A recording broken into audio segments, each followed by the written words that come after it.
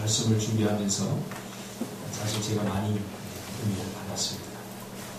아, 저 청년들이 한참 잠이 많고 한참 쉬고 싶을 때 우리도 청년 시절을 지내봐서 알지 않습니까? 가장 자고 싶을 욕망이 가장 네, 클 때입니다. 그때 그 잠을 깨고 쉼을 깨고 나온다는 것은 굉장히 불가능한 일입니다. 특별히 상진 집사님 같은 경우는 밤을 꼬박 세웠어요. 일주일 내내 다 세웠어요. 왜냐면 학교의 건축이기 때문에 설계 쪽을 하느라고 밤을 제가 새벽에 올라와서 이렇게 보면 저도, 저도 많이 며칠 한 3일을 세웠습니다만 이렇게 와서 보면 과제를 하고 꼬박 세우고 이렇게 나오더라고요. 보면서 아 십자가를 정말로 정말로 깨달았구나. 그것을 발견하게 됩니다. 십자가의 핵심이 뭐냐면 나의 옛 자아가 죽어지는 겁니다. 나의 옛 생명이 겁니다. 내옛 생명이 죽어져야 비로소 내 새 생명으로 살아갈 수 있게 되는 거죠. 그래서 무엇보다도 어, 이번 특세는 참 감사했던 어, 은혜가 넘쳤던 이런 시간들이었다. 또 여러분들이 이렇게 참여해 줘서 어, 참 감사를 드리고 특별히 우리 주영 집사가 아, 시간 시간마다 은혜를 받는 게 제 눈에 보이더라고요. 평소에 말씀 듣는 것하고 특세 때하고 조금 다르더라고요. 그래서 이 목사가 그냥 있는 것 같아도 이런 영적 흐름이나 이런 것들을 이렇게 우리가 알 수가 있어요. 그래서 몇몇 사람의 큰 하나님의 비전을 깨닫는 시간들이 아니었나 그런 생각을 해봅니다. 아무튼 수고하셨고요. 계속해서 말씀 전하겠습니다. 부활의 심으로 솟아나라. 부활의 심으로 솟아나라. 라는 제목으로 하나님 말씀 생각하겠습니다. 아, 오늘은 십자가에서 아, 온갖 고난과 아, 치욕을 당하시고 십자가로 어, 십자가에서 죽으셔서 무덤, 무덤에 장사되었던 주님께서 말씀하신 대로 약속하신 대로 부활한 날을 기념하는 그런 부활 주일입니다. 우리는 절기를 맞으면서 우리는 항상 그 절기를 지키는 목적과 그 의미를 분명하게 해야 된다고 그렇게 말했습니다. 절기는 하나님께서 우리에게 주신 은혜를 누리는 아주 중요한 수단이고 방편이다. 라고 제가 아, 이야기를 했죠. 그렇죠? 우리는 늘 하나님의 은혜를 망각함으로 이 땅에서 하나님께서 베푸시는 그 은혜를 누리지 못할 때가 많습니다. 우리가 은혜를 누리는 유일한 길은 하나님께서 주셨다 이 은혜를 하나님께서 하셨다라는 것을 늘 기억해내면서 감사하는 것 뿐입니다. 그것이 하나님의 은혜를 누리는 방법입니다. 우리 입술에서 불평이 나오고 원망이 나오, 는 순간 하나님의 은혜는 사라져버립니다. 그래서 늘 기억하는 거죠. 그렇지 않습니까? 우리가 과거에 하나님, 우리가 정말 힘들고 어려울 때 하나님 나 도와주세요. 대안만 붙여주세요. 뭐 이런 기도 많이 합니다. 이번 일만 해결해 주세요. 절박하고 간절하게 매달려서 하나님께서 응답해 주시면 그 후에는 까마득하게 잊어버려요. 까마득하게 잊어버려요. 그래서 하나님의 은혜를 우리가 계속해서 누리지 못하게 되는 겁니다. 하나님의 은혜를 잊음으로 누리지 못하는 망각의 문제. 이것이 우리에게 가장 큰 문제입니다. 이스라엘 백성들은 이것을 뼈저리게 깨닫던, 깨달았던 민족이죠. 그래서 세계 역사상 이 망각과 싸운 유일한 민족이 있다면 바로 이스라엘 백성들입니다. 그러니까 2000년이 지나서도 다시 나라를 되찾는 그렇죠? 해방하는 그런 놀라운 일을 하지 않았습니까? 조지 산타냐라고 하는 사람은 과거를 기억할 수 없는 사람은 그 잘못을 되풀이할 수밖에 없다. 그렇게 말했습니다. 저는 이 말에 전적으로 공감합니다. 우리의 삶으로 체득되어지는 일 아닙니까? 우리가 과거를 기억하지 못하면 우리의 잘못은 계속해서 반복이 됩니다. 반복이 됩니다. 성경의 역사도 우리에게 분명하게 보여줍니다. 신앙생활은 망각과의 싸움인 것입니다. 내가 지금까지 숨쉬며 살아가고 있는 것, 앞으로도 내가 살아갈 모든 날들에 하나님의 은혜가 필요하지 않습니까? 이것을 우리가 빨리 깨달아야 돼요, 빨리. 그렇지 않으면, 특별히 젊은 날에는 이게 잘 안 보여요. 사단은 자꾸 우리의 영적 시선을 분산시켜서 하나님의 은혜를 잊어버리게 합니다. 우리를 먹고 살기 바쁘게 하고 정신없게 만들어서 결국 삶의 이유와 목적이 무엇인지 흐릿해지게 합니다. 그래서 시간이 10년, 20년, 30년 지나고 난 후에 우리가 공허함을 느끼게 되는 거죠. 우리가 여기서 지면 안 됩니다. 우리는 하나님의 형상을 따라 지음을 받은 하나님의 백성들입니다. 다른 동물들과는 달라요. 그래서 우리는 왜 사는지에 대한 문제를 분명히 우리가 하는 일들에 대해서 내가 이것을 하는 이유와 목적이 무엇인가를 분명히 물어야 됩니다. 그렇지 않으면 사단이 만들어 놓은 거대한 기계적 시스템에 우리가 빨려 들어가서 빠른 시간과 빠른 이 사건 속에서 우리 인생을 허비하게 되었습니다. 내가 왜 이 땅에 살아가는지, 무엇 때문에 내가 이 일을 하는지에 대한 목적이 분명해야 된다 그렇죠? 개나 돼지는 먹으면 그 이상의 생각을 안 합니다. 오직 먹고 싶은 생각. 본능, 본능적으로 살기 때문에. 그러나 우리는 본능이 아니라 하나님이 주신 형상대로 살아야 되는 거죠. 그렇죠? 그래서 배불르다고 우리는 만족하지 않아요. 뭔가 물질이 많다고 우리 그걸로 만족하지 않아요.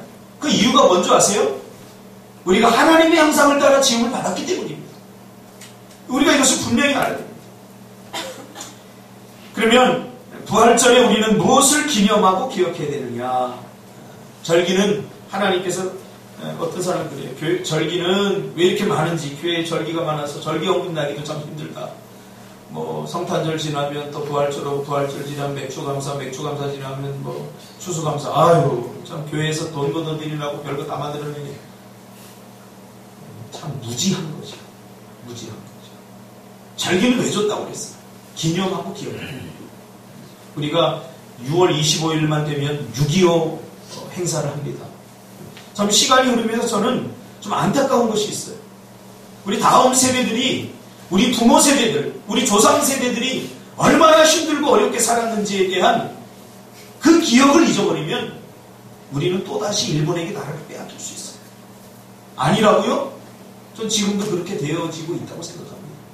우리 부모님이 정말로 가난하게 살았는데 얼마나 가난하게 살았는지 그것을 잊어버리면 나도 역시 가난하게 살 수밖에 없어요. 역사를 통해서 성경을 통해서 우리가 보여주지 않습니까? 우리 부모 세대도 잘 못 배웠어요. 그래서 어떻게든지 자녀들을 가르치려고 해요. 자기 목숨을 다해서 땅도 팔고 자기 인생을 다 허비해서 자기 인생이 없어요. 그래서 공부를 시켜요. 그러면 이 아이가 기억해야 되는 게 뭐, 우리 부모의 헌신과 그 부모 세대의 그 고생이 나를 오늘날 있게 했구나. 이걸 잊지 말아야 돼요. 잊어버려요. 잊어버려요. 잊어버리면 다시 고난은 계속해서 반복됩니다. 우리가 이것을 분명히 깨달아야. 그러면 부활절에는 우리가 무엇을 기념하고 기억해야 되느냐? 첫째로 나의 육체가 십자가에 죽고 이제 내 안에 예수의 영인 성령으로 새롭게 살게 되었다는 사실을 우리가 기억해야 됩니다. 할렐루야. 예수님께서 왜 십자가에 죽으셨어요? 우리의 옛 타락한 옛 본성, 옛 자아, 그것을 가지고 우리가 살면 결국은 성경은 뭐라 부릅니까? 사망이라고 합니다. 육신은 결국 사망입니다. 이 말이 뭐예요? 한번 깊이 묵상해 보세요. 육신에서 나온 생각, 육신의 계획들, 육신의 욕망에서 나온 것, 아무리 좋은 계획과 아무리 멋진 계획이라고 할지라도 결국은 우리에게 절망을 준다. 죽음 같은 절망을 준다. 그걸 우리가 잘 몰라요. 그러니까 육신은 영에 도달할 수 없어요. 육신적으로 살면 결국은 우리는 다 사망에서 절망이에요. 고통 가운데 살다가 그렇게 지옥 백성이 되는 거예요. 희망이 없는 거죠. 그래서 예수님께서는 이 문제를 해결해 주시기 위해서 이 땅에 육신의 몸을 입고 오셔서 십자가에 죽으셨어요. 십자가에 죽을 때 예수님만 죽은 게 아니라 우리 안에 있는 모든 죄를 다 짊어지고 죽으셨어요. 우리의 옛 자아가 죽지 않으면 우리의 옛 모습이 죽지 않으면 우리는 새로워질 수 없기 때문이죠. 그렇죠? 죽어야 살, 살아나는 거예요. 살렸을 때 우리는 비로소 새로운 인생이 인생. 그래서 사도 바울은 이것을 깨닫고 갈라디아서 2장 20절에 이렇게 고백합니다. 내가 그리스도와 함께 십자가에 못 박혔나니 이 말은 뭐예요? 내가 그리스도와 함께 십자가에 못 박혀 죽었나니고 뭐가 죽었어요? 나의 옛 자아가 죽었다. 내옛 생명, 아담으로부터 물려받은 그 생명, 죄로 말미암아 부패하고 죄로 말미암아 망가져버린 하나님의 형상. 그걸로는 하나님을 기쁘시게 할 수 없어요. 우리 인생을 올바르게 계획할 수 없어요. 우리의 삶을 의미 있고 가치 있게 살 수 없어요. 아무리 발버둥 쳐도 그것은 죄입니다. 죄. 그 세상 사람들 보세요. 가만히 보면 계획하고 준비한 모든 것들이 결국 뭐예요? 자기, 자기, 자기입니다. 자기. 결국은 자기가 이게 극대화되면 자기 성공을 위해서 다른 사람들을 해치고 다른 사람들에게 불행을 가져다 주고 서슴지 않아요. 그래서 결국은 나만 살면 된다. 그게 가능한가요? 불가능해요. 서로 그렇게 하다가 서로 죽는 거죠. 서로 고통스러운 길을 걷게 되는 거죠. 사도 바울은 이것을 깨닫고 내가 그리스도와 함께 십자가에 못 박혀 죽었나니 그런즉 이제는 내가 사는 것이 아니요 오직 내 안에 그리스도께서 사신 것이다. 라고 합니다. 무슨 말이에요? 내 옛 생명은 예수 그리스도께서 십자가에 죽게 하고 그리고 다시 하나님께서 우리를 만드실 때 흙으로 빚으시고 그 코에 생기를 불어넣어서 우리 인생을 만들듯이 실패한 죄로 말미암아 실패한 우리를 십자가에 죽게 하고 이제는 새로운 영을 우리에게 부어 넣어 주신 것이요. 새로운 생명이 우리가 된 거죠. 할렐루야. 이게 바로 우리예요. 예수를 믿는 순간 우리가 십자가에 참여하는 순간 바로 우리가 이렇게. 그 사도 바울이 예수님을 만나고 나서 담에색 도상에서 만나고 나서 3년 동안 아라비아 광야에 가서 이게 정말 사실인가 아닌가 그가 직접 증명해 보이잖아요. 그렇죠? 그의 옛 자아가 죽고 이제 그 안에 들어온 성령을 의지하면서 아라비아 광야에서 3년 동안 삽니다. 온몸으로 아, 내 안에 정말로 새로운 영이 들어왔구나. 죄로 말미암아 오염되고 부패한 생각하는 것과 계획하는 것이 악한 것이 아니라 정말 주를 위하여 또 이웃을 위하여 하나님 나라의 영광을 위하여 새롭게 계획하고 또 행복을 누릴 수 있는 그런 새 영이 내, 내 안에 들어왔구나 하는 것을 비로소 깨닫게 되는 거죠. 그래서 사도 바울은 갈라디아서 2장 20절처럼 고백합니다. 이제 내가 육체 가운데 사는 것은 나를 사랑하사 자기를 자기 자신을 버리신 하나님의 아들을 믿는 믿음 안에서 사는 것이라. 할렐루야. 우리 신앙생활이 왜 불가능해요? 우리가 새벽에도 얘기했잖아요. 많은 그리스도인들이 신앙생활이 불가능합니다. 어떻게 성경 말씀대로 다 삽니까? 이렇게 얘기해요. 이렇게 이야기를 하는 사람들을 들으면 우리는 어떻게 결론을 내릴 수 있어요? 아, 이 사람은 육체로 영에 도달하고, 도달하려고 하는 거야. 아직 이 안에 육체가 죽어지지 않았구나. 육체가 죽어지지. 성경은 우리에게 불가능을 이야기하지 않습니다. 하나님은 불가능한 일을 명령하면서 힘들어하고 지쳐있는 우리를 보면서 기뻐하는 그러한 싸우리 신이 아닙니다.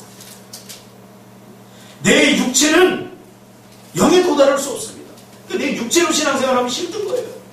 사도 바울도 아라비아 광야에서 그것을 경험했잖아요. 열심히 신앙생활 하다가 그가 느낀 게 뭐예요? 어거라 나는 공부한 사람이로다. 누가 이 사망의 몸에서 나를 구원하냐. 신앙 불가능을 느꼈잖아요. 그러다가 그가 내 육체, 내 예 자아는 하나님의 영광에 도달할 수 없다. 그리고 그 안에 사신 예수 그리스도의 영인 성경으로 살기 시작하게 되는 거죠. 오늘 우리가 신앙생활이 힘들고 어려운 것은 내 육체적 생각만으로 하기 때문이에요. 내 인생이 고달픈 것은 내 육체적 생각만으로 하기 때문입니다. 우리의 안에 계신 성령의 터치를 받고 성령의 인도함을 따라 우리가 살게 되면 하늘의 신령한 복을 이 땅에까지 우리 끌어다 쓸 수 있어요. 할렐루야. 성령이 그렇게 말해주고 있어요. 일주일 동안 우리가 계속해서 이 말씀을 나누지 않았습니까? 이 말씀에 놀라운 부활의 소망이 숨겨져 있습니다.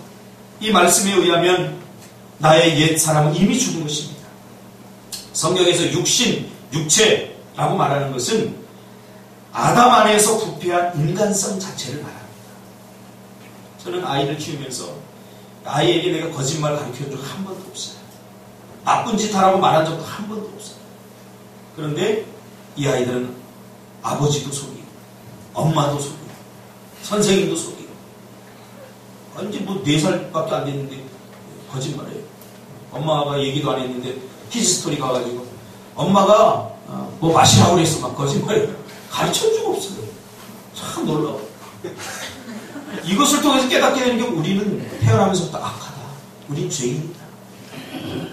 우리 지희 어머니, 지희 거짓말 가르쳐 줬죠? 안 가르쳐 줬어요. 그래도 학교 가면 거짓말 잘 해요. 이거 우리 본성이 악하기 때문에 본성. 그리고 자기밖에 생각하니 자기. 자기만 행복하면 세상 모든 사람들은 다 행복하다고 생각하기 때문에 그래요. 그러면서 자기가 행복하기 위해서 다른 사람을 불행하게 만들 겁니다. 이게 우리 안에 있는 부패한 인간성이에요. 부패한 인간성. 이 부패한 인간성으로 가득 차서 사람이 인생을 여러분 행복하게 살 수 있을까요? 절대 그렇게 살지 못해요. 그렇게 고통 속에 살다 결국 우리는 사망 가운데 처해지게 됩니다. 그래서 예수님께서 이 땅에 그 문제를 해결하기 위해서 오신 거죠. 죄로 말미암아 부패한 인간성은 절대로 신령한 하늘의 복에 접근할 수 없는 것입니다. 노아 시대가 우리에게 보여주는 것이 바로 그겁니다. 노아 시대를 노아 시대를 한마디로 말하면 한마디로 말하면 노아 시대 사람들을 한마디로 규정하면 항상 생각하는 것과 계획하는 것이 악한 사람들이다. 그렇죠? 내 안에 옛 자아로 사는 사람들 아무리 고상한 것처럼 겉으로 이야기하지만 마음속에는 음흉한 생각 악과 저주가 가득 들어있잖아요.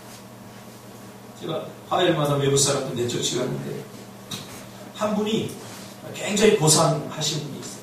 말도 좋은 좋은. 그래서 제가 참 집사님 어디서 싸움 한 번 안 해본 것 같아요. 그랬더니 참 목사님 말씀하세요. 내가 얼마나 이 안에 사악한 것이 많아요. 많이. 왜 그래요? 내 죽어지지 않는 옛 자아가 있기 때문에 겉으로는 겸손한 척하지만 겉으로는 안 그런 척하지만 내 안에 죄가 가득 차서 나를 사망으로 이끌어갑니다. 사도 바울은 담의 세계에서 주님을 만난 이후에 그가 근본적으로 가지고 있었던 육신적 열정과 열심을 가지고 주를 섬겼지만 그럴수록 그는 불가능하다. 신앙생활 불가능하다. 오라 나는 공부한 사람이다. 이렇게 고백합니다. 그러다가 이 문제를 어떻게 어디서 해결했습니까? 십자가에서 해결했습니다. 내가 십자가에 십자가밖에 없다 이 문제를 이 문제를 해결하고 십자가밖에 없다. 그래서 사도 바울이 자발적으로 십자가에 동참하게 됩니다. 자발적. 여러분 시발, 어, 신앙생활은 자꾸 발음이 꼬입니다. 일주일 동안 일주일 동안 이거 밤낮을 설교를 해야 되더니 안타까웠습니다. 시발 생활이 아니라 신앙생활입니다. 신앙생활이 힘드십니까? 힘들지 않, 않게 하는 이유가 있습니다. 내가 죽어지는. 자꾸 내가 살아서 역사해. 자기 애, 자기 의. 이게 자꾸 살아있으니까 신앙생활이 힘든 거예요. 우리는 선언해야 됩니다. 나는 십자가에서 죽었다. 새벽 기도 나오기가 왜 힘들어요? 일주일 동안 내가 죽었다 한 사람은요, 아닙니다. 아니, 저는, 저도 잠을 거의 못 잤어요. 사실 이게 새벽 기도 같은 거 하면 저도 힘들어요. 육신적으로 생각하면. 잠이 안 와요. 또 말씀을 준비하고, 또 기도하고, 이게 잘 안 돼요. 근데도요, 육신적으로는 고달픈데, 이 안에서 영적인 희열이 느껴져요. 제가 얼마나 많은 은혜를 받은 줄 몰라요. 놀라운 은혜를 받았어요. 얼마나 감사한지. 다시 한번 사도 바울의 고백. 나는 날마다 죽어라. 이게 정말로 마음을 확 와닿았어요. 그동안 내 성질 죽이지 못하고, 내 자아 죽이지 못하고, 이랬던 부분들이 이제는 내가 죽었구나. 나는 죽었구나. 준석이 나한테 욕해봐. 요즘 나한테 계속 혼났잖아. 복수 한번 해봐. 그래도 나는 죽어. 나는 죽어. 난 죽었어. 내가 시퍼렇게 살아있으니까 인생이 힘들어지고 신앙생활이 힘들어져요. 자, 죽으면 모든 것이 다 간단해져요. 이 십자가의 사도 바로 동참함으로 비로소 자기에게 자아, 이 자아가 자기를 불행하게 만들고 자기를 고통스럽게 만들고 이 내 자아, 죽지 못한 자아가 내 옛 생명이 나를 힘들게 만든다는 것을 깨닫고 기꺼이 십자가에 동참함으로 자기 자아를 죽여버립니다.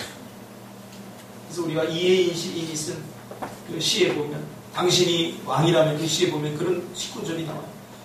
내가 죽지 못해 날마다 내 안에 죽어 계신 분 예수. 내가 죽지 않으면 예수도 죽지 않습니다. 예수가 죽습니다. 내가 죽지 않아요. 그럼 내가 죽으면 예수가 삽니다. 저는 그런 걸 많이 느끼고 우리 가정생활 하면서 화가 날 때가 있어요. 우리 예린이 방 보면 화가 나요. 앵그리버드가 돼요. 하루 이틀 달에 그 지저분한 것만 보고. 맨날 같으면 그냥 내가 때렸어. 팍 올라와요. 내가 죽었어요. 내가 죽었어요. 화를 내서 때릴 일이라면 내가 저 다리가 부러지도록 때렸겠죠. 그러나 우리는 하나님의 형상을 닮은 사람이기 때문에 맞으면 또 상처를 받잖아요.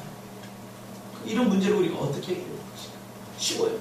가장 쉬운 방법은 억지로 힘과 권력을 동원해서 하는 거예요. 그러나 기독교는 그런 싸구려 종교가.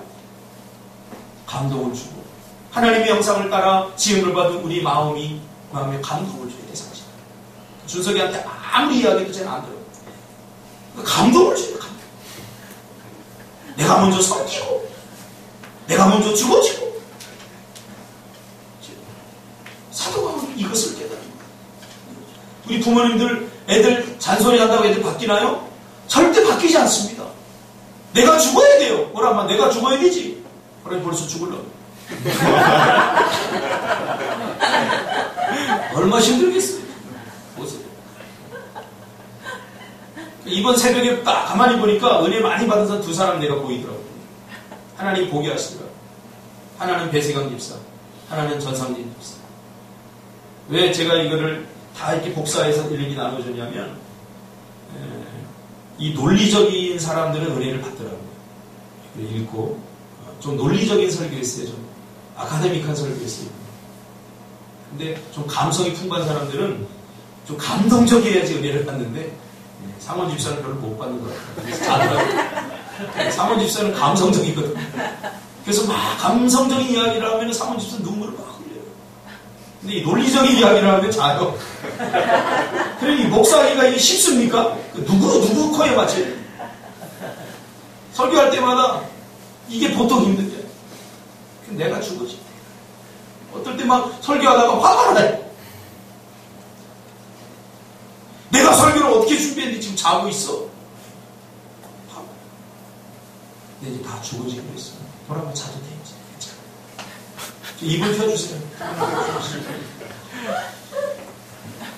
골로새 3장 3절에 이미 너희는 죽었고 너희 생명이 그리스도와 함께 하나님 안에 감춰졌다고 말합니다. 나는 죽었습니다. 살인 척하지 마세요. 나는 죽었어. 과거에 나는 죽었어. 아직도 그러니까 우리의 싸움은 무슨 싸움이라고 그랬어요? 죄의 실체와의 싸움이 아닙니다. 힘든 척하지 마세요. 제 실체와의 싸움이 아니라 제 잔상과의 싸움. 이 팔이 뚝 잘렸는데, 뚝 잘렸는데, 의사 수족 중이라고. 팔이 뚝 잘렸는데, 팔이 없음에도 불구하고, 손이 없음에도 불구하고 이 사람이 손가락 아픈 걸 느낀다는 거죠. 없어졌는데. 이게 의사 수족 중이에요. 막 손가락이 저리고 막 아파봐요. 이게 없는데도. 왜 그래요? 잔상으로 내 머리가 기억하고 몸이 기억하고 기억이라는 게 참 무서워요. 죄도 마찬가지. 이미 십자가에서 예수님이 다 죄와 사망의 권세를 다 죽여버리고 우리에게 승리를 주셨어요. 우리는 예전의 우리가. 할렐루야. 고린도후서 5장 17절 이전 것은 지나갔으니 보라 새 것이 되었다. 새 것이에요 우리 새 것. 근데 자꾸 옛 것처럼 살아요. 저는요 세게 새 것이 있으면 주로 쓰는 스타일이에요. 새 거 먼저. 근데 우리 집사람은 새 거를 거의 간직하는 스타일이에요. 저는 우리 어머니를 통해서 교훈받았어요. 왜냐하면 우리 어머니 시대에 집안, 집에 꼭 하나 있던 게 범랑 세트. 타순이 씨, 맞죠? 범랑 세트. 그거요, 자랑하려고 집에. 그런데 딱 진열해 놓고 10년에 한 번도 안 썼어요. 그러니까 시대가 지나고 유행이 지나가니까 이 자연이 버리게 되는 거예요. 제가 그것을 통해서 깨달은 게 있어요. 좋은 것은 무조건 쓰고 보자. 할렐루야. 인생 길지 않아요. 좋은 구두도 사신고 좋은 거 다 쓰세요. 그럼 더 좋은 게 나와요. 그럼 더 좋은 거 사면 돼. 네. 우리 신앙에 적용해 보자고. 당신은 조금 힘들 것 같아 적용을. 왜?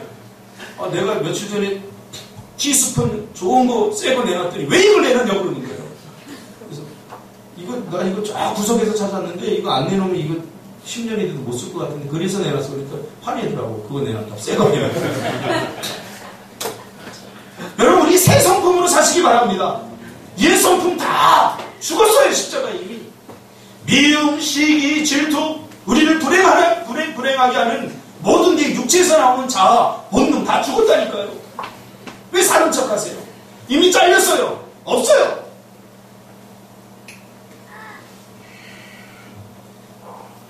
여러분, 우리는 새롭게 되었습니다. 새롭게 되어진 사람처럼 생각하고, 그렇게 계획하고, 그렇게 말하시기를 주님의 이름으로 축복합니다. 두 번째 부활이 우리에게 주는 축복은 그래서 다시 일어서라는 거죠. 어, 우리는 실패할 수 있지만 하나님은 절대로 실패하지 않습니다. 그래서 그래서 하나님이 우리 안으로 들어올 거예요. 우리 혼자 내버려 두면 내버려 두면 어떻게 돼요? 아담 때처럼 사단이 나가서 유혹하면 지잖아요. 그러니까 지지 않도록 이제 하나님께서 우리 안에 영으로 들어오시고 우리가 육체로 살다 보니까 실수를 하고 실패를 하게 됩니다. 죄를 지어놓고는 누구 핑계 됩니까? 사탄이 제가 시켜서 제 때문에 나 때문에 나는 죄 짓고 자기 잘 자기가 스스로 판단해서 자기가 열정에 죄 졌다는 사람 단 한 사람도 못 봤어. 죄를 짓고는 다 다른 사람 핑계 대요. 공부 못한 거 선생님이 잘못 가르쳐서 그런다. 우리 부모님이 가난하다서 나 머리 나빠서 그랬다는 사람 한 사람도 없어. 그래서 핑계대지 못하도록 하나님은 우리가 실패한 인생 살지 못하도록 영으로 우리 안에 들어오셔서 우리와 함께 살고 계십니다. 그러니까 우리가 뭔가를 결정하고 판단하고 선택하고 모든 걸 할 때 내 육체의 자아로 하지 말고 성령께 물어봐야 되잖아요. 할렐루야. 네. 물어봐야 돼. 그래야 내 안에 성령께 정말 살아있는지 없는지 우리가 알잖아요. 성령을 모셔다 놓고 자기 인생 사니까 성령은 외로운 거예요. 사도 바울이 왜 담에색에서 예수님을 만나고 성령이 내 안에 들어왔을 때 왜 아라비아로 간 줄 아세요? 그 아라비아에 가서 성령과 함께 그 외로운 곳이잖아요. 아라비아 광야예요. 광야. 아무도 없어요. 그곳에 가서 내 안에 계신 성령의 터치를 받으면서 성령의 인도함을 받으면서 그가 믿음의 훈련을 받은 거지. 성령과 함께하는 삶. 어떻게 성령의 음성을 듣고 내가 결정하고 판단하고 이 모든 것을 할 때 성령께서 어떻게 말씀하십니까? 오늘날 우리가 예수 믿으면 하나님의 음성을 어떻게 들어요? 예수 믿은 지 20년, 30년이 아직도 그런 사람이 있어요. 저는 오늘 새벽에도 성령의 음성을 듣고 하나님의 음성을 들었어요. 어제 상진 집사가 이렇게 와서 여러 가지 비전에 대한 이야기를 하면서 이게 맞는 건지 네, 제가 그랬어요. 아 성령의 음성을 듣는 훈련을 하나님께 지금 하시는구나. 하시는구나. 아라비아 광야. 하나님은 직접 우리 안에 영으로 오셔서 지금 여러분 안에 계십니다. 할렐루야. 실패했던 우리 과거에 아담으로부터 물려받은 그 예자아가 이 십자가에 다 죽어지고 그 코에 피로 막 생기를 불어넣으셔서 이제는 새로운 생명, 새로운 여러분이 된 것입니다. 할렐루야. 그러니까 자꾸 옛것 자꾸 생각하지 마세요. 육체. 근데 여기서 아주 중요한 것이 있습니다. 그게 뭐냐면 하나님은 우리를 로봇처럼 만들지 않았기 때문에 내 안에 계신 영, 그러니까 내가 뭔가를 결정하고 판단할 때 하나님이 다 알아서 해주세요. 이거는 성경을 잘못 이해하잖아요. 우리가 어, 새벽 기도 때 나오신 분들은 이게 무슨 말인지 이해가, 이해가 될 거예요. 그렇죠? 하나님은 우리를 신처럼 만들었잖아요. 그래서 우리를 존중하는 거예요. 우리 로봇처럼 이렇게 해라 저렇게 해라 하나님 마음대로 이렇게 하지 않아요. 우리와 상의하고 우리가 의논하고 또 우리가 자발적으로 동참하기를 원해요. 우리는 하나님이 주신 믿음과 하나님이 주신 의지로 얼마든지 하나님이 기뻐하는 것들을 자발적으로 선택할 수 있습니다. 그래서 우리가 넘어지고 쓰러질 때마다 그때마다 우리는 다시 일어서면 돼요. 우리에게는 실패가 없어요. 끝이다. 그렇게 생각될 때에도 그 끝이 아니에요. T.S. 엘리엇이라고 하는 시인은 그렇게 고백했죠. 하나님은 우리의 인간의 끝에서 시작하십니다. 내가 포기하지 않으면 돼요. 내가 포기하지 않으면 하나님은 절대로 나를 포기하지 않아요. 여러분 날마다 죽어지시기를 바랍니다. 다들 눈 감고 있어서 설교를 더 한다는 게 불가능한 것 같아요. 내 육체적 한계로는 이게 분노가 막 올라서 그만해야 될 것 같아요. 그렇죠? 마지막 세 번째로 우리는 절대로 실패할 수 없습니다. 반드시 기록하시기 바랍니다.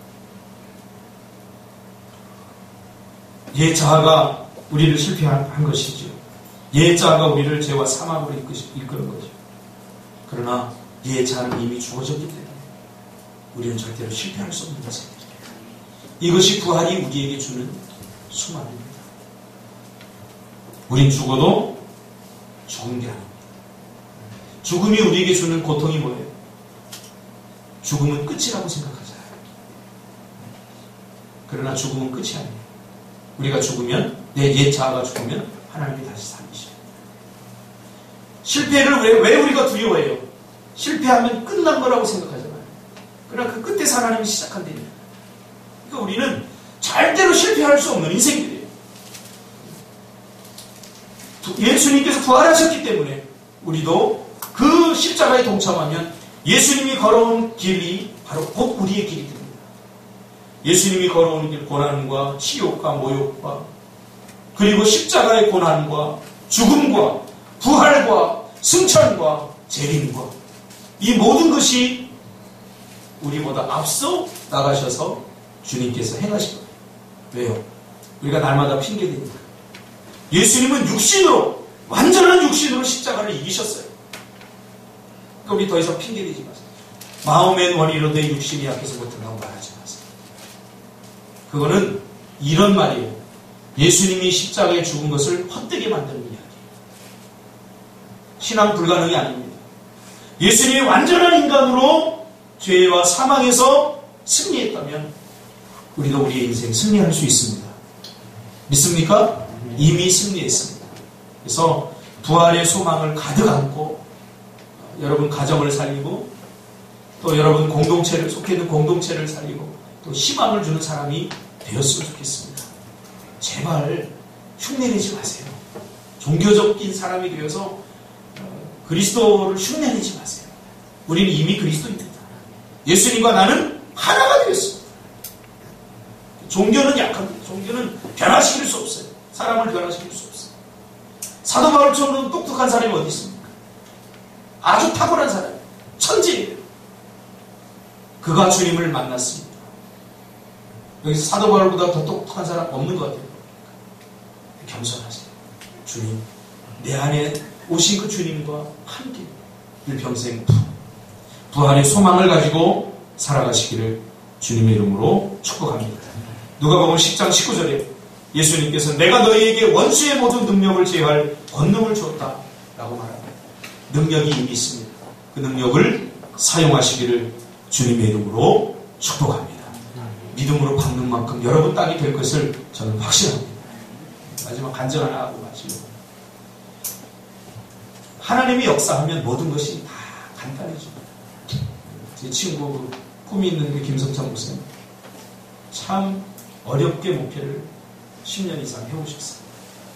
제가 보더라도 참 고통스러울 정도로 힘들게 목회를 했어요. 물질적으로. 우리는 6개월 월세 못 냈지만 거기는 1년 월세를 못 내서 보증금을 다 까먹는 아주 힘겹게 그렇게 목회를 해오셨는데 하나님께서 그 물질의 문제를 한방 얘기해 주시더라고요. 그 석근이 우리 같이 인도 성교 같은 사람 알죠. 석근이가 결혼합니다. 보영이하고 결혼하는데 가구를 장만해야 되지 않습니까? 가구를 장만하러 간 거예요. 장만하러 이렇게 갔는데 가구를 사면서 그 가구 사장님이 교회 이야기를 듣더니 이분은 소위 말하는 돈이 흘러 넘치는 사람. 돈 10억, 20억 정도 막 우습게 하는 사람. 집사님인데, 어, 그 교회 힘들게 청소년 사가고 이렇게 하는 걸 보고서 카드를 이렇게 해놨어. 월, 그, 한, 1년에 한 5천만 원 정도 쓸 수 있는 카드를 줬어. 목사님, 좋은 일 하시니까. 난 이거 있어도 그만, 없어도 그만이니까. 마음껏 사용하세요. 그래서 어느 날인가요? 불론 애들이 한 3일 동안 저를 맛있는 걸 사줘요. 이게 좀 이상해졌나, 이 목회라든지, 뭐, 이상해졌나. 근데, 더 막, 나만 사주는 게 아니라 주변에 막 베풀어요. 그래서 어떻게 된 건가? 그랬더니, 이용봉 목사한테 물었더니, 이용봉 목사가 아는 교수님이 어떻게 해서 했다고 그러는데, 알고 보니까 그게 아니라, 엊그제 내가 실제로 들었어요. 그 집사님이 이렇게 해서 그 가구 사러 갔다가 그분이 감동해서 성령의 감동해서 그걸 줬어요. 그래서 인도에다가 2천만 원짜리 이렇게 또 투자해서 또 짓고 그런 와중에 그 사위가 있는데 덴마크 사람이에요. 그래서 사위가 이제 한국에 왔는데 빈둥빈둥 놀고 있으니까 용돈을 줬나 봐요. 월 한 500만 원씩. 그러니까 이 덴마크 사람들은 공짜를 절대 안 받아요. 서양 사람들이 사고가 내가 왜 장모님 공짜 돈을 받냐는 거야. 그 사이가 돈을 못 벌면 누가 고생해요? 아내가 고생하잖아요. 자기 딸이. 그러니까 이거 용돈을 어떻게 줄까 하다가 어, 꿈이 있는 교회에 영어 교실을 열었어요. 이분이. 네, 원어민이 와서 두 시간 동안 영어로만 찌끄린대요. 그러니까 애들 영어 듣고 그대로 영어 되는 거죠. 그리고 목사님, 그 목사님이 대신 월급 주세요. 하면서 주는 거예요. 네, 뿐만 아닙니다. 지금 그 사회적 기업 하려고 하는데 거기서 기본적인 자본을 그래서 교회 자체가 되고 활력이 생겼어요. 우리 그 김석찬 목사 토요일 날마다 그 영어 교실 하니까 꿈틀교회 다음 교회는 무조건 100% 무료니까 와서 영어 2시간 동안 짓거리 되는 거 들어라. 음. 믿음으로 살면 항상 길이 열립니다. 두려워하지 마세요. 자꾸 잔머리 쓰죠. 육체적으로 자꾸 잔머리 제발 쓰지 무직하게, 무직하게, 무직하게 사세요. 지금 하나님께서 우리 교회에 베푸신 이 놀라운 은혜들 여러분 5년 후, 10년 후가 되면 여러분들이 다 한국 교회를 살리는 다 주인공이 될 겁니다. 그래서 이분이 그 지금 놀라운 일들을 해 나가고 계십니다. 보니까 그냥 재산이 뭐 그냥 몇십억 있는 정도로 수천억 가지고 계십니다. 그래서 뭐 교회도 뭐 이렇게 다시 이렇게 옮기지 옮기고 막 얘들 막 그런 과정 속에 있습니다. 여러분 한 사람이 제대로 서시기 바랍니다. 우리는 나 혼자 겨우 먹고 살 살라고 나 혼자 이러면 뭐 먹고 살겠습니까? 그게 뭐 중요합니까? 나 혼자 충분히 먹고 살아요. 하나님 나라를 살리고 주의 영광을 위해 살려고 인생의 목적을 분명히 정하며 하나님께서 놀랍게 역사할 줄 믿습니다. 내년에 1월달에 인도 갑니다. 김성찬 목사님 다 대준대요. 인도 선교 가는데 축구 선교 가자고. 우리 전번에 인도 가서 축구에서 졌잖아요. 그래서 이번에 베스트 멤버로 한번 가자고. 그래서 베스트 멤버 모집 중입니다. 여러분 중에서도 가기를 원하시는 믿음으로 도전하면 비행기 값은 공짜입니다. 좋은 일에 쓰이게 되잖아요. 선교하는 일이. 그렇죠? 그러면서 어, 그 인도에 그 선, 김기영 선교사님이 이제 선교 은퇴를 합니다. 70이 다 돼서 이제 72세인가 이제 그래서 은퇴를 하면 MK 사역을 한다고 합니다. 선교사들 자녀들을 어, 선교사들이 지금 도시 안에밖에 없어요. 이 선교사들이 도시 밖으로 나가서 선교를 해야 되는데 왜냐하면 자녀들 교육 문제 때문에 선교사들이 묶여 있어요. 밖으로 나가야 돼요. 그래서 이 문제를 이 선교사님이 하다가 이게 큰 문제고 그래서 선교사님 자녀들을 일주일 동안 자기가 맡아서 MK 사역을 하는 거예요. 우리 아파트 가봤죠? 좋잖아요. 거기다 불러다 놓고 먹고 재우고 하면서 밭 돌봐주고 일주일 동안 선교사님들은 워지로 나가 선교하고 이 김기영 선교사님이 인터내셔널 국제학교 인도는요 빈부가 확실해요. 잘 사는 사람은 굉장히 잘 살아요. 그러니까 우리가 만약 유학 가면 인터내셔널 국제학교 다닐 수 있어요. 그래서 그 사역을 한다고 어, 그 김성장 목사님 둘째 아들 진우가 거기 간다고 혼자 가기 외로우니까 예린이도 빨리 같이 가라고 나고 꼬시라고 얘기를 합니다. 무료입니다. 가서 영어 마음껏 배우고 그래서 어제 내가 우리 은주하고 예원이한테 얘기했어. 얘들아, 우리 교회가 지금 너희들까지 유학 보낼 수 있는 여건은 안 되지만 기도해보자. 최소한 월 50만 원만 들면 여러분 생각해 보세요. 예. 외국 유학 가는데 월 50만 원 내고 갈 수 있는 사람 나와보세요. 나머지 김 목사 다 책임져 줍니다. 우리가 꿈이 없어서 망하는 겁니다. 보세요. 지금은 저 작은 떡볶이 집 같이 여러분 보이죠? 어떨 땐 더 측은해 보일 수도 있어요. 저 작은 모래알 속에서 우주를 보시길 바랍니다. 이게 하나님이 하시는 거예요. 우리 민지 쪽에서 그 천막에서 이렇게 할 때마다 어떻게 좀 마음이 아파요. 그러나 보세요. 십자가의 고난과 십자가에 동참할 때 고난과 그리고 부활과 그리고 승천과 그 모든 것이 우리 앞에 주어진 거예요. 얼마나 감사한지. 우리 또 희수가 마르다가 안 마르다가 뭐 나온 지 얼마 안 됐는데 또 비즈니스 성교를 한다고 해서 보니까 아, 쟤는 내가 보니까 대, 대 성공할 수밖에 없네요. 기본적으로 얘가 아주 이게 알차네요. 첫째 게으르잖아요. 하나님도 어떻게 할 수 없는 사람이 있어요. 어떤 사람, 게으른 사람은 하나님도 못 하죠. 내가 게으르면서 뭔가 하나님의 일을 하겠다 그런 사람은요, 아예 접으세요. 아예 접으세요. 다른 거뭐 내가 성격이 좀 나쁘고, 뭐 내가 욕심이 많고, 그런 사람들은 하나님 고칠 수 있어요. 그러나, 기본적으로 게으름을 갖고 있는 사람은, 게으름은 죄입니다. 그래서 못 고치는 거예요. 게으른 사람은 절대 하나님도 어떻게 못해요. 근데 내가 보니까 부지런하다. 안내를 세워놨더니요, 새벽에 화장하고 아주 이쁘게 쫙 왔어요. 마음이 얼마나 좋은지.